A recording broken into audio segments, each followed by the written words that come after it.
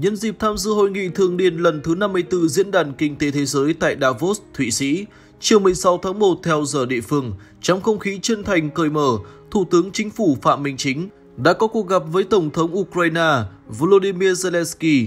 Thủ tướng Hàn Quốc Hàn Đúc-su, Thủ tướng Vương quốc Bỉ Alexander Deku và nhà sáng lập kiêm Chủ tịch WEF Klaus Schwab. Tại cuộc gặp Tổng thống Ukraine Volodymyr Zelensky, hai nhà lãnh đạo nhấn mạnh việc coi trọng quan hệ hợp tác hữu nghị truyền thống, đối tác và hợp tác toàn diện Việt Nam-Ukraine. Trước tình hình hiện nay, để duy trì đa quan hệ, hai bên nhất trí phối hợp tháo gỡ vướng mắc tìm kiếm các biện pháp để khôi phục trao đổi thương mại về những mặt hàng hai bên có thế mạnh. Thủ tướng khẳng định lập trường nhất quán của Việt Nam là tất cả các tranh chấp cần được giải quyết bằng biện pháp hòa bình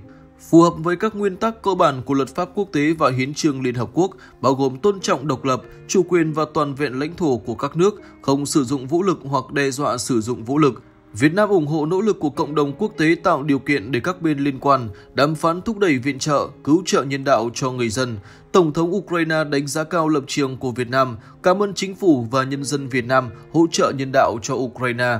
Thủ tướng cảm ơn Ukraine đã hỗ trợ bảo đảm an toàn và sơ tán công dân Việt Nam tại Ukraine, mong chính quyền Ukraine tiếp tục hỗ trợ bảo đảm an toàn tính mạng, tài sản cho công dân Việt Nam đang tiếp tục sinh sống, làm việc và hoạt động tại Ukraine. Gặp Thủ tướng Hàn Quốc Han Duk-su, hai bên đánh giá cao sự hợp tác chặt chẽ giữa chính phủ hai nước trong triển khai hiệu quả quan hệ đối tác chiến lược toàn diện Việt Nam-Hàn Quốc và các thỏa thuận đạt được giữa lãnh đạo cấp cao hai nước thời gian qua. Thủ tướng Hàn Quốc nhấn mạnh, người dân và chính phủ Hàn Quốc luôn nghĩ về Việt Nam như một người bạn hết sức gần gũi. Mối quan hệ hai nước là mối quan hệ đặc biệt, ngày càng gắn kết, đóng góp vào hòa bình ổn định của khu vực và thế giới. Hai thủ tướng nhất trí tiếp tục thúc đẩy hợp tác thực chất, hiệu quả và toàn diện.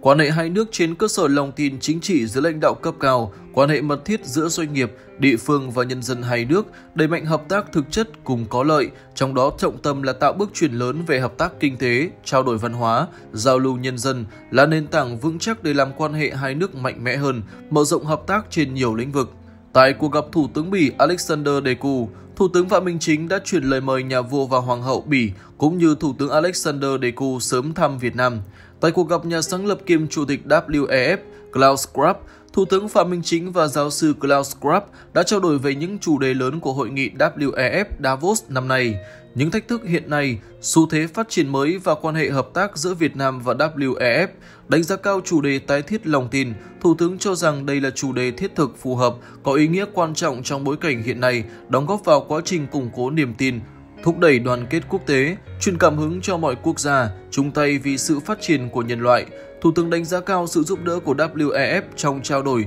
tư vấn xây dựng chính sách, kết nối với các doanh nghiệp thành viên WEF, thúc đẩy thu hút đầu tư nước ngoài chất lượng cao vào Việt Nam. Thủ tướng mời giáo sư Klaus Schwab và lãnh đạo WEF sớm thăm Việt Nam. Việt Nam sẵn sàng phối hợp cùng WEF tổ chức các hội nghị giữa kỳ tại Việt Nam, thúc đẩy kết nối và phát huy vai trò của WEF tại khu vực. WEF nhận định Việt Nam là một trong những nước được cộng đồng doanh nghiệp quan tâm nhất tại hội nghị lần này.